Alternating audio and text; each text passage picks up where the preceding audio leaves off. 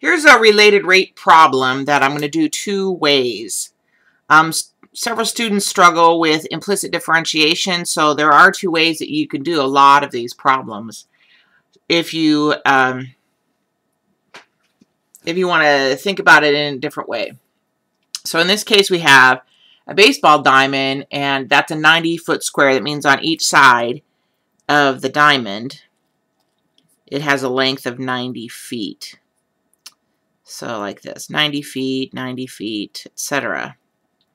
All the way around. And so since it's a square, each of these corners is a right angle.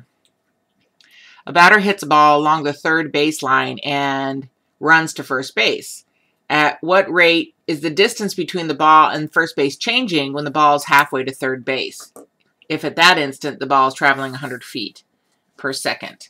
This is kind of written a little awkwardly, but it's not impossible to do.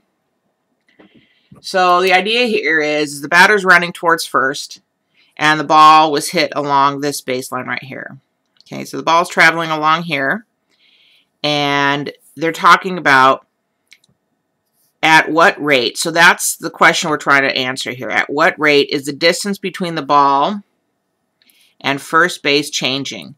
So here's where the ball is, and there's a distance between the ball and first base. So what we're trying to find, what we want to find, is um, the distance the ball is changing with respect to time. That's what we want. At what rate is the distance between the ball and first base changing? So this is a rate. That's the distance between the ball and the first base. That's what we want. So if I continue with what I'm given, it says, well, when the, when the ball is halfway, so the ball is, when ball is halfway, this is what I'm given. I'm going to call that distance x because I don't know what it is. So I'm going to find d d dt when x is 45, or at the moment when x is 45, and dx dt is 100 feet per second. How do I know that that's dx dt? If at that instant the ball, that's the ball, is traveling 100 feet per second. 100 feet per second. This is 45 feet.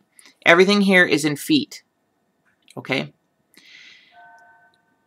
When doing the next step of the problem, you do have to relate those two things together because that's all the information I have. I have dx dt that's given, and I have d dt, which is what I want. So when I look at the picture, I see that they're arranged in a right triangle. So I can say that d squared is equal to x squared plus 90 squared. That's terrific. From here, I should be able to work through the problem. Now, if I want d dt, I have to somehow use dx dt alongside that and this equation to relate the rates together to come up with my solution. So the new method, or the method that doesn't use implicit differentiation, I'll call it method 1. Method 1 actually uses something called the chain rule.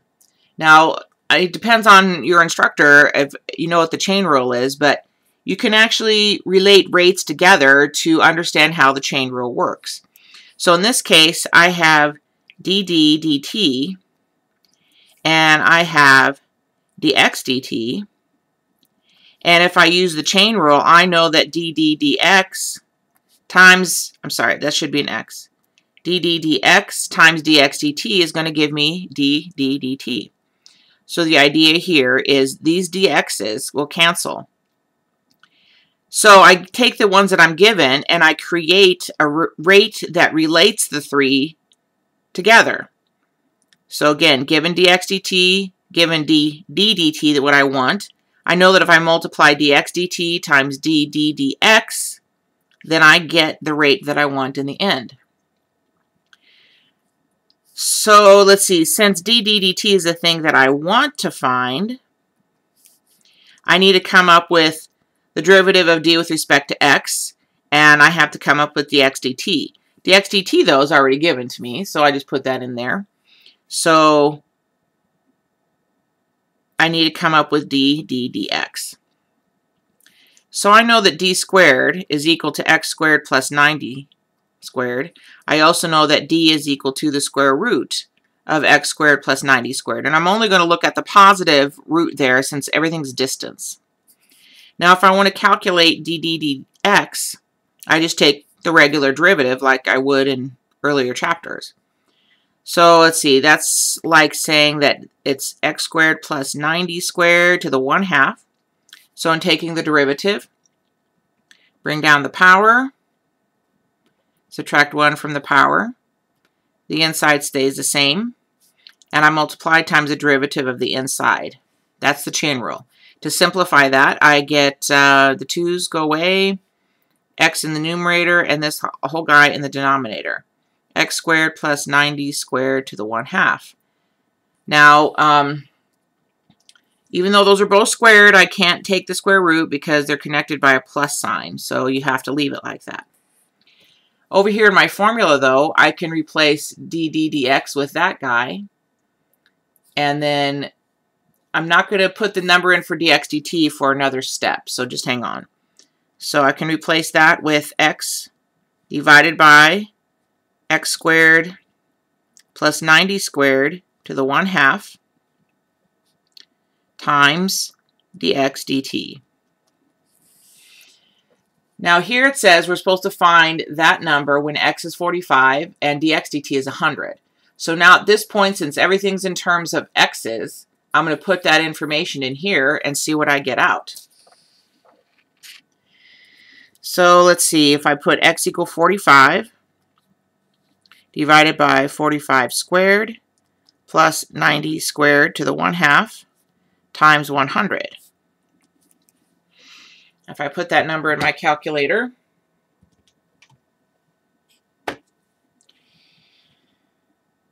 so 45 times 100 divided by 45 squared plus 90 squared, all raised to the 1 half.